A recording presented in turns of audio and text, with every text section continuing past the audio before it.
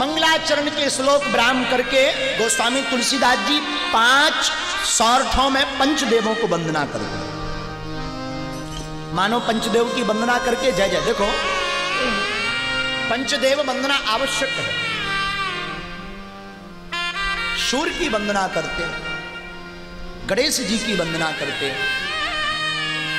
क्षीर सागर में शयन करने वाले भगवान श्री हरि की चंदना वंदना करते, शंकर जी की वंदना करते और अंतिम सौरठा में गुरु चरणों की वंदना करते। रामायण की मध्यस्थता हमने पूर्व में आपको सावधान किया, गुरु वंदना। मध्य में गुरु है और जो मध्य में है मतलब प्रमुख है।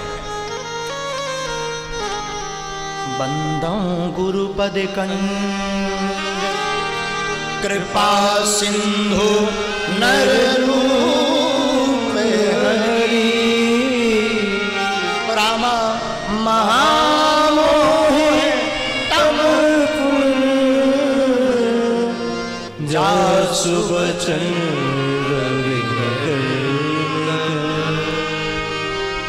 और रामायण की पहली चौपाई गुरु वंदना से शुरू होती तुलसीदास जी की प्रथम चौपाई।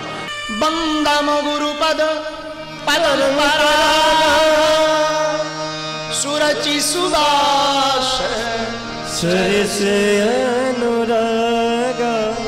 मैं उन गुरु महाराज के चरण कमलों की वंदना करता हूँ जो कृपा के समुद्र हैं। नर रूप में श्री हरि ही हैं। देखो यहाँ भी गोस्वामी जी भगवान गुरु को श्री हरि का रूप बता रहे हैं। श्लोक भी कहता।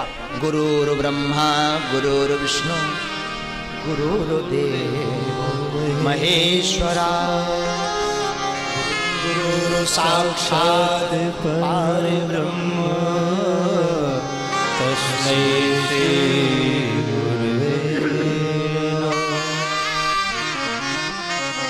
गुरु की बड़ी महिमा तुलसीदास जी बाबा कहते हैं। मैं उन गुरु भगवान श्री को प्रणाम करता हूँ, वंदन करता हूँ। जिनके चरणों की दया से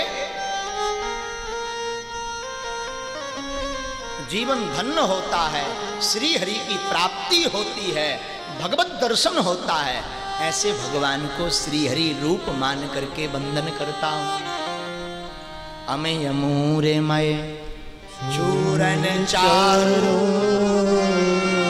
समन सकल भव, रोज परिवारो। देखो, भगवान भी गुरु की महिमा गाते हैं, और गुरु महिमा मूल है। संजीवनी बूटी का सुंदर चूर्ण है गुरु महिमा, गुरु कृपा। जिनके जीवन में गुरु के चरणों की धूली होती है, उनको कभी भी भव रोगों में नहीं पड़ना पड़ता। भव से पार कराते हैं, बेड़ा पार कराते हैं। भगवान गुरुदेव भव से पार कराते, बेड़ा पार कराते आहा। संजीवनी भूति का उदाहरण देकर के तुलसीदास जी कहते हैं कि जो गुरु के चरणों की धूली लेते हैं, धूली का अर्थ ये नहीं है कि उनके पाँव की माटी लेकर शरीर में लगा दो तो जय जय हो जाए। ना। तो बात तो ठीक है, पर गुरु चरण रज का एक अर्थ है आज्ञा का पालन करना। गुरु चरण रज का एक अर्थ है आज्ञा का पालन करना। तुम धूरा तो खूब लगा रहे, पर मान कछू नहीं रहे। हाँ। एक बार एक व्यक्ति हमको मिले तो हमने कहा, भैया, क्यों पीते हो? क्या ज़रूरत है पीने की? बोले, महाराज का आदत पड़ गई। पिया तो है, लेकिन भगवान है पहले लगा दी तो हमने कहा भैया उससे क्या हो जाता? बोले, कुछ नहीं, हमने ही आप सबके श्री मुख से सुना है कि जो भगवान भोग लगा लो तो फिर भगवान का प्रसाद बन जाता तो प्रसाद पीते। देखो, राम कथा कल्प वृक्ष है, भगवान को भोग लगा करके पाना चाहिए, पर ऐसा भोग लगाओ जो पाने योग्य हो। एक बार हम एक जगह राम कथा कर रहे बहुत पहले धामई पे भाई वे संत आउत रात बीच बीच में। तो हमने कथा में कहा कि भाई जो एक साल तक प्रतिदिन रामचरित मानस का पाठ करता है, उसकी कोई भी कामना हो, पूर्ण हो जाती अब डेढ़ दो साल बाद वो फिर मिले हमें। बोले, महाराज, तुम तो कहते साल भर पाठ करियो, जो कामना होगी पूर्ण हो जाए। ढाई साल हो गए, आज लो पूरी नहीं भाई। तो हमने कहा, ऐसा तो हो नहीं सकता, भाई कामना क्या थी? बोले, कुछ नहीं, पड़ोसी हैरान करत तो हम सोचे उनको नाश हो जाए। भाई जो है, इस प्रकार का संकल्प लेकर बैठोगे तो एक जन्म क्या, सात जन्म भी पूर्ण नहीं होना। ऐसे एक बार हम परिक्रमा लगा रहे थे तो एक माता जी हनुमान चालीसा पढ़ रही थी पुस्तक लेकर के। उसमें एक चौपाई आती है, तुम रक्षक काहू को डरना। अब वो पढ़ रही थी पढ़ रही थी तुम राक्षस काहू को डरना। अब बताओ भाई? कैसे कल्याण होगा? अर्थ का अनर्थ करोगे तो कहाँ से कल्याण होगा? पढ़ो। पर उतना हमने पूर्व में आपको सावधानी किया। जितना समझ आएगा, उतना पढ़ो। उसी प्रकार, दाता, गुरु चरण रज का अर्थ यह नहीं है कि उनके चरणों में आप लौट जाओ, भभूति लगा लो। गुरु चरण रज का अर्थ है उनके वाक्यों पर चलो, मानो। माँ तो पिता गुरु प्रभु की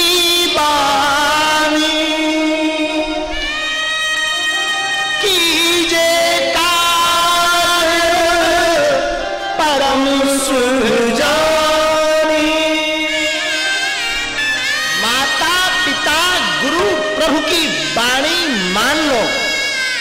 बुरी भी हो पर भला होगा। उल्टा हो पर कल्याण होगा। एक बार एक महात्मा एक राजा के घर गए। राजा के यहाँ बड़े बड़े ज्योतिषाचार थे, आचार थे, दर्शन करने आए सब। एक पंडित जी बड़े सीधे साधे थे, बेचारे संत पहुँचे हुए थे, उनके पीछे पड़ गए वो। गुरु जी के, महाराज, कोई मंत्र दे दो, दीक्षा दे दो, चमत्कार वाला। अच्छा चमत्कार के पीछे आदमी ज़्यादा भागता है। अब हम आपको सीधी बात बताएँ। सबसे बड़ा तो यही चमत्कार है कि तुम मानव हो। भगवान का सिस्टम देखो, दो आँखें, दो कान नासका मुख। दूसरा चमत्कार सूर्य भगवान का प्रत्यक्ष देखो। अपने टाइम से चले जाते, अपने टाइम से रोज आ जाते। ये लाइट जलाओ तो बिल महीने भर में फलाना फलाना आ जाता। है इतने जमा करो, वरना कनेक्शन कटेगा कुड़की हो जाएगी। पर धन्य है सूर्य भगवान। फ्री में उजियारा रोज दे रहे हैं, अपने टाइम पे आ जाते हैं। तुम सोच है जगो, आज तक कोई बिल नहीं भेजा। परंतु हम आप भगवान का उपकार और चमत्कार नहीं मानते। यही जीवन का सबसे बड़ा दुष्परिणाम है। तो महात्मा के पीछे वो बालक पड़ गया। कोई मंत्र दे दो, बढ़िया सा चमत्कार सिखा दो। महात्मा रोज कहे, अब तो तनक और बढ़ो, बाद में बोले, नहीं भाई, पूरे तनक और बढ़ो। अब जो रोज पाछे पढ़ दो, वैसे तो भीड़ उन महात्मा के पास पड़ी रहे। एक दिन महात्मा झाड़े जंगल जा रहे थे, जो पाछे लग गए। बोले, आप तो मंत्र ले ही के रहे, निकाल तो मैं भग जाऊँ। मंत्र, अब वो बेचारे लोटा लेके जो पाछे पाछे भी, आगे आगे भी, हर बार, भग जाए यार भाई। ये पीछा ना छोड़। चलते चलते दो तीन किलोमीटर चल दिए महात्मा। और ये पीछा ही ना छोड़े। जा तो रहे थे डोल डाल। अब गुस्सा आ गया महात्मा को, सो लोटा लिया। बोले, भाग रहा, वरना माल लोटा खपाड़ फोड़ दे। इसे लगा कि यही मंत्र है। क्योंकि इसने कुछ देर पहले कहा था, मंत्र दे दो। बोले, ठीक, भाग रहा कि मार लोटा खपाड़ फोड़ दे।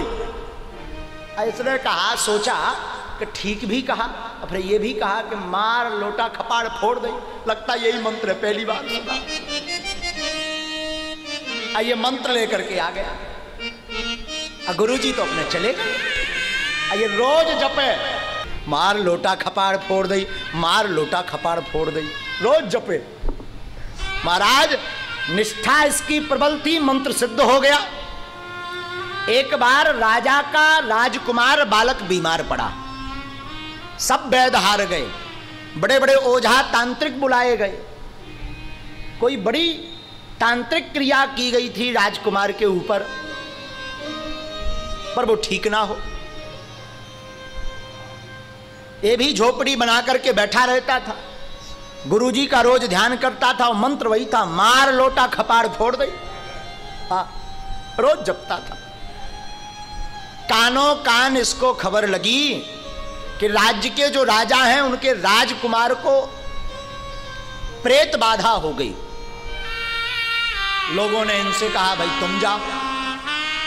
तुम भी तो माला जपत, रात कछू के चमत्कार दिखाओ। इसने कहा, ठीक है। राजभवन पहुँचा तो पहले से ही कर्मकांडी ब्राह्मण अनुष्ठान कर रहे कोई मंत्र पढ़ रहा, वैद कुछ कर रहे सब कोई प्रार्थना कर रहा, कोई हवन कर रहा, लगे। ये पहुँच गया।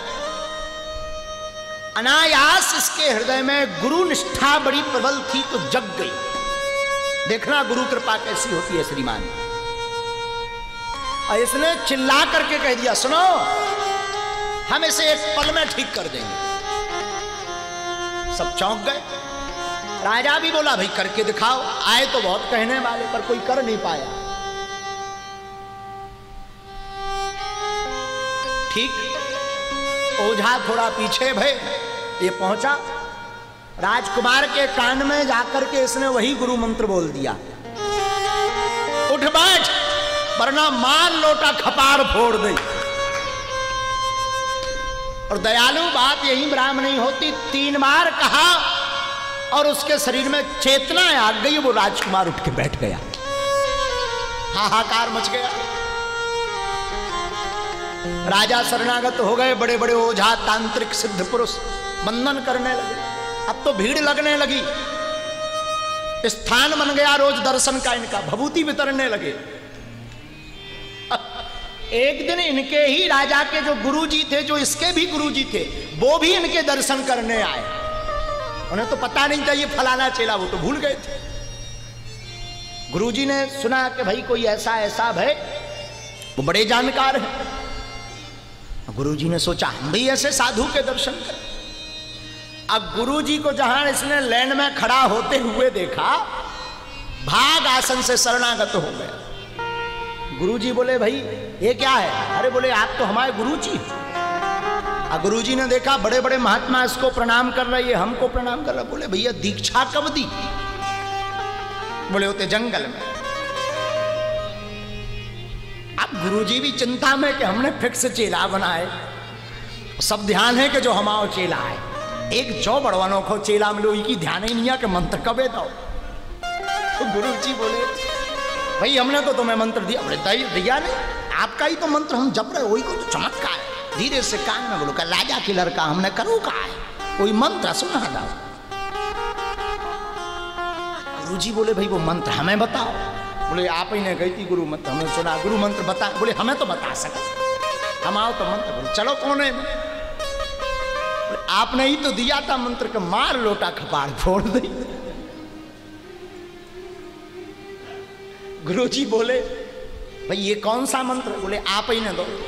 अब तब इनको गुरुजी को बाकिया ध्यान आया, बोले, हम झाड़े जंगल जा रहे थे। हम तो मारे गुस्सा के बोल दिए कि महार लोटा खपाड़ फोड़ दी पर धन्य है चेला राम इस शब्द पर ही निष्ठा रख ली। तो धन्य है प्रभु की गति, और धन्य है गुरु की परंपरा के उस नाम मंत्र मुख से जो निकला, वही मंत्र बन गया, और इतना बड़ा चमत्कार कर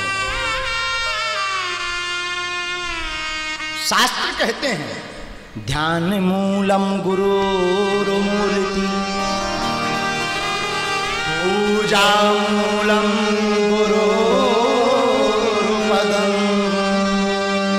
मंत्र मूलम गुरु वाक्यम मोक्ष मूलम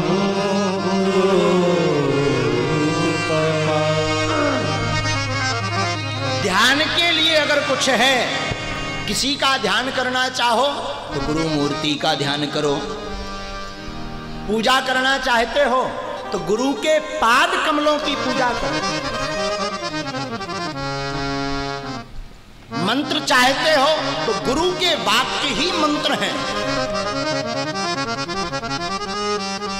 और मोक्ष प्राप्त करना चाहते हो तो गुरु कृपा से ही मोक्ष प्राप्त संभव है।